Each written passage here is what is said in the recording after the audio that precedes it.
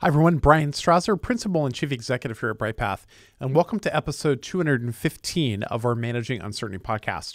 Today, I want to talk about one of the most pressing issues facing business continuity professionals today, and that is the rapidly evolving threat landscape that we see today probably the most complex le- threat landscape that I have seen in my almost 30 years of working in business continuity and crisis management. And it is almost entirely driven in the context of cybersecurity and digital resilience. And if this is not an area that you're thinking about today as a business continuity professional, this is something that you need to start delving into soon. In the past, when I got into business continuity many, many years ago, business continuity traditionally was focused on ensuring operational resilience against a broad array of hazards. And those hazards back then we mostly thought about as natural disasters and supply chain disruptions. But the ascendancy of cyber threats presents a uniquely complex set of variables.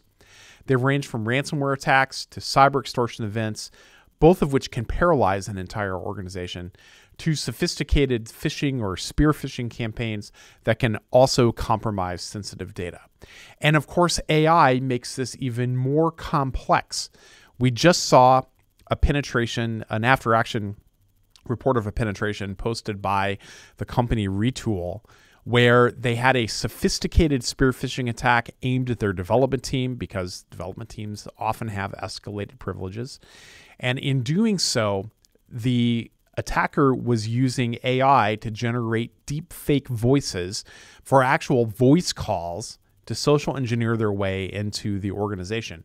And it was successful because out of multiple attempts of several dozen people, they were able to get just one person to click the link and move through the process with them, including this deep faked phone call.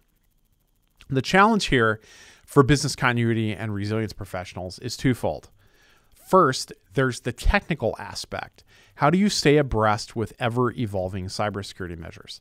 And even if today your role doesn't necessarily cross into cybersecurity, whether you, or even if you don't have a technical background, you need to start to take the time to understand what these threats are. You need to be able to speak the language of information security so that you can perform your role well as a as a business continuity as a resilience expert in your organization. So the first challenge is the technical aspect of staying abreast with these ever evolving cybersecurity measures. That often requires you to have a close collaboration between your information security team and your business continuity or resilience team. You should have that in place now. To me, that's just table stakes of what you need to do.